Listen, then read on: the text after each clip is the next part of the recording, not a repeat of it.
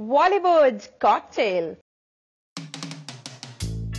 Popular TV actress Mohit Raina और मोनी रॉय एक दूसरे को डेट कर रहे थे। We all know about it कि देवों के देव महादेव में इन दोनों की जोड़ी बनी और दोनों एक दूसरे को डेट कर रहे थे। इनकी तस्वीरें इस बात की खास गवाह थी। हालाँकि इन दोनों ने अपने रिलेशनशिप के बारे में हमेशा अपने लिप्स को टाइट ही रखा और कभी इस रिलेशनशिप को ऑफिशियली एक्सेप्ट नहीं किया। मोनी रॉय को गोल्फ ने मोहित रैना से पहले ही बॉलीवुड में डेब्यू किया और कर दिया इस रिलेशनशिप से ब्रेकअप वहीं मोहित राणा को थोड़ा टाइम तो ज़रूर लगा, मगर फिर उन्होंने उरी मूवी से अपना डेब्यू किया, जहाँ उन्हें अपने इस रोल के लिए बहुत ही ज़्यादा प्रेज किया गया। पहले तो मौनी ने मोहित राणा के साथ अपने रिलेशनशिप के बारे में ऐसी स्टेटमेंट्स दी, जिसे सुनकर लोग शॉक में आ गए।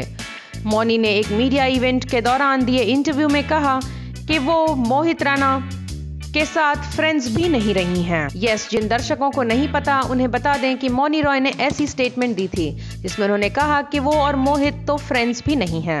वेल well, अगर फ्रेंड्स नहीं हैं तो वो तस्वीरें क्या थी? ये मोनी ही जानती होंगी। वहीं जब एक लीडिंग डेली ने उरी के सक्सेस के बाद मोहित से बात की और मोनी रॉय के साथ रिलेशनशिप के बारे में पूछा तो मोहित ने भी साफ़ साफ़ मना कर दिया और उन्होंने कहा कि वो मोनी रॉय के साथ कभी भी रिलेशनशिप में नहीं रहे। मौनी एक बहुत ही अच्छी को स्टार रही हैं और अपने लाइफ में कुछ फेबुलस काम कर रही हैं।